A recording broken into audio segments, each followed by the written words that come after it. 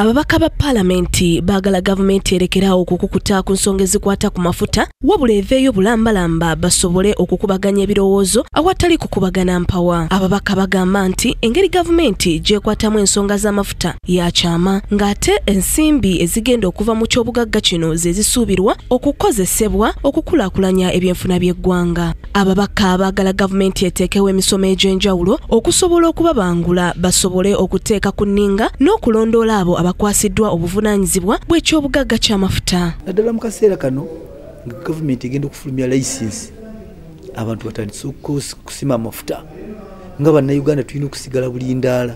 Tulabe ngaomuntu wa bulijjo aganyulwa mu mafuta gano oba munnayuganda omulala amanye bwe gatambula. Gavumenti tevaayo bulungi okulaga bannayuganda biki ebitambula mu maaso na sekita y'amafuta kika tusuubire nti munnayuganda ajja kuganyulwamu si kugagawaza companies ezabagwira gavumenti ya uganda yali eteekeddwa okussa omukono ku ndagaano y'ensi yonna ey'obwerufu giyite extractive industries transparency initiative nga kiba kigikakatako okubeera ennambulukufu ku mitendera gyonna egyekuusa ku mafuta ekintu kyetaakola newankubadde nga paalamenti ezze ebaga amateeka agakwata ku nsonga z'amafuta ku kyeddongoserezo ly'amafuta ababaka era bawabudde gavumenti esooka eteeke essira ku ddongoserezo nga tennazimba midumu gitwala mafuta wabweru wa ggwanga. Olw'ensonga nti eddongoserezo lyakuganyulwamu nnyo bannayuganda okusinga emidumu nga bafuna emirimu ebikozesebwa ssaako n'ebintu ebirala. Ng'ogamba okole pipeline ya export kutwala crude oil.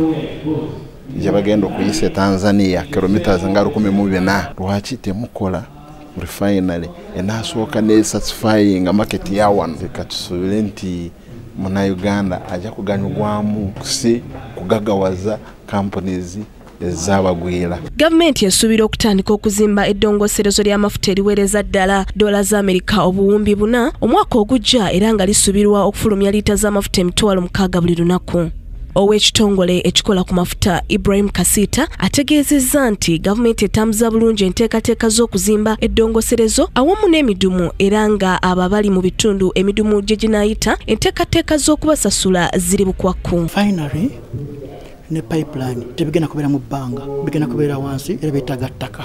Tubali tuteesa n'abantu abali balina ettaka eryo. Wetwogera kakati kumpi kyenda kumpi kyenda musanvu ku buli kikumi tubasasudde ssente wali abamu bwe tugenda okuzimbira ennyumba era ennyumba zino zinatera okuggwa baveeyo tubatwale mayumba gaabwe. Naye ebintu byakuteesa tukolagana ne ba badisitulikiti kwegamba buli omu yenna yenna ekintu ng'akola ki? Ng'akirimu uganda yazula ekyobugagga ky'amafuta mu mwaka gwa 2006 mu bitundu by'obugwanjuba okuliraana n'ennyanja albert era ng'okwolesebwa kw'eggwanga omwaka 2004 kwesigamye ku ssente ezigenda okuva mu mafuta kisa kye joan kingdom tv amalindirire Uganda is also considering a pipeline through Tanzania to export oil if it proves cheaper than alternative This is Kingdom TV.